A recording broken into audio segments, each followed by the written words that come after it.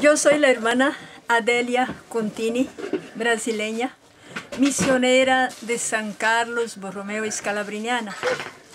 Somos escalabrinianas porque Juan Bautista Scalabrini, Scalabrini, él fundó la congregación. Entonces nosotras, nosotras así llevamos el nombre de escalabrinianas.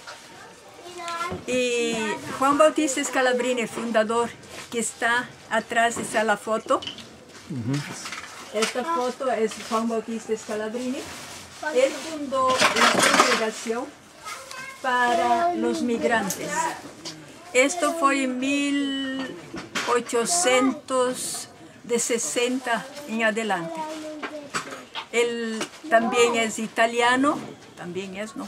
Él es italiano y cuando él era obispo de Italia, él empezó así a darse cuenta de los migrantes, de las personas que estaban saliendo de su lugar de origen, buscando otras formas de vida. Y muchos de los italianos que emigraron fueron para Brasil, Argentina, Canadá, Estados Unidos. Y luego después más se fueron a otros países. Y mis bisabuelos también migraron para Brasil. Entonces yo creo que nosotras también tenemos en el corazón esta ayuda para los migrantes, porque Juan Bautista fundó la congregación para los migrantes. Entonces, como mis bisabuelos eran migrantes, entonces creo que todavía nació ahí la, la imagen sin de, de, migración.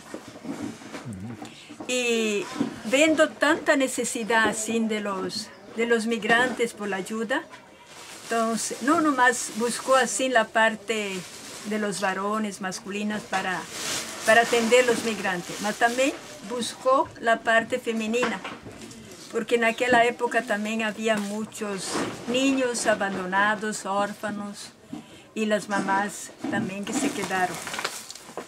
Eh, y entonces también buscó, buscó otras personas para que le ayudaran. Y buscando a esas personas, primero, aparte así de sacerdotes, los hombres, y preguntando así la diócesis quién le gustaría así a a trabajar. Entonces, un sacerdote muy jovencito, que con el nombre de Padre José Marchetti, él era diocesano. Y como el obispo, el obispo así ah, buscaba a todos los sacerdotes, y él se le ofreció. No, no importaba sin era diocesano, mas que él quería personas de buena voluntad que le ayudaran.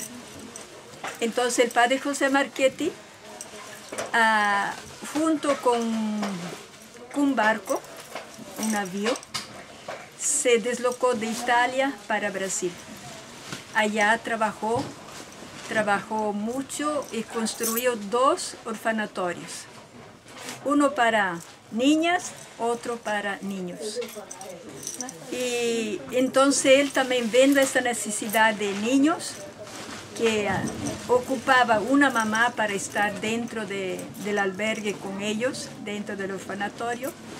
Entonces regresó a Italia, habló con el obispo Scalabrini y él buscó ah, entre el obispo y padre José Marchetti personas que querían viajar para, para Brasil. En esto encontró entonces la, hermana, la propia hermana de él, que es el Madre Asunta. Y Madre Asunta, después de tanta resistencia, porque ella no quería ser misionera, era, ella quería ser de clausura, más misionera de clausura.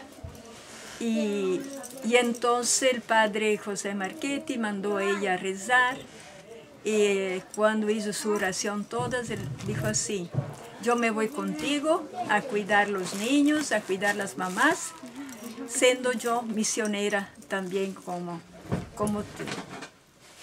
Y se fue, buscó otras compañeras, se fueron en cinco, de Italia también para Brasil.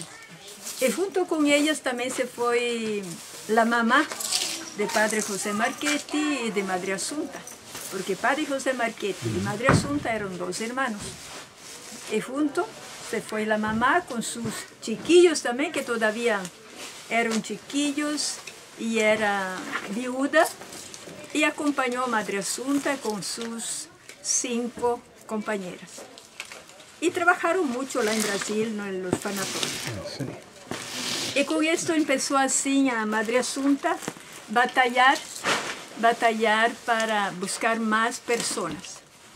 Y también fundando esta congregación de las misioneras, que se llamamos nosotras ahora Misioneras de San Carlos, escalabriniana. Eh, y ahí en Brasil sí, entonces empezó a crecer la congregación.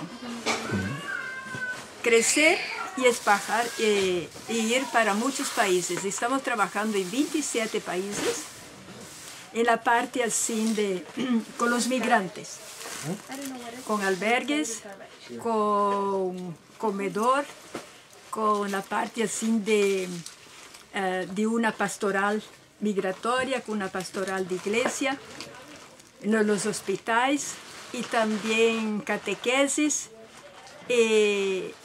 y, y aparte así de colegios.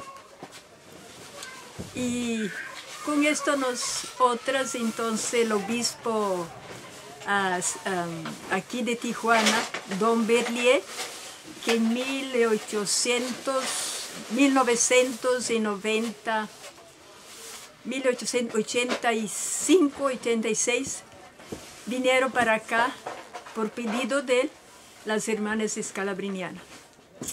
Entonces vinimos yo no, porque vinieron unas hermanas antes que yo. Ah, vinieron en, tres, dos de Brasil y una aquí de Estados Unidos. Y empezaron a trabajar junto con los padres aquí en el albergue scalabriniano. Ahí ah, empezamos así a trabajar, a atender a los migrantes, recibirlos y dando con qué alimentarse. Eh, y luego después porque ahí recibían tantos hombres como mujeres. Pero las mujeres no se sentían a gusto, las mujeres migrantes. Ellas pedían así que por favor tuviera otro lugar para ellas. Entonces la hermana que era responsable por las mujeres habló con los superiores, platicando todo el problema que traía con las mujeres y y buscando así, teniendo el permiso, buscar un lugar para las mujeres. A donde que aquí la congregación dio el terreno. Y luego después, entonces, con ayuda del pueblo, con la ayuda de hacer eventos, ah, con ayuda de una, una asociación de Alemania, nos ayudó a construir la casa. Esta casa tiene la finalidad, desde el principio, siempre de atender las mujeres y los niños migrantes. Y con esto, aquí siempre desde el 1994, recibimos las mujeres y los niños y dando así un atendimiento integral en la parte así humana, con entrevista con ellas, dándoles ropa, alimento, asociación, asesoría jurídica. Terapia. Terapia psicológica y espiritual también. Eh, y viendo también así, otras necesidades de salud también. Sí, qué bueno. Y aquí estamos trabajando con muchos voluntarios que nos apoyan, que nos ayudan. Viene de varias partes Vienen muchos de Estados Unidos, así como el grupo de ustedes, y haciendo así este labor muy, muy agradable, muy interesante para la ayuda de los migrantes. Sí. Muchas gracias, madre. Muchas de nada, gracias. Para servir.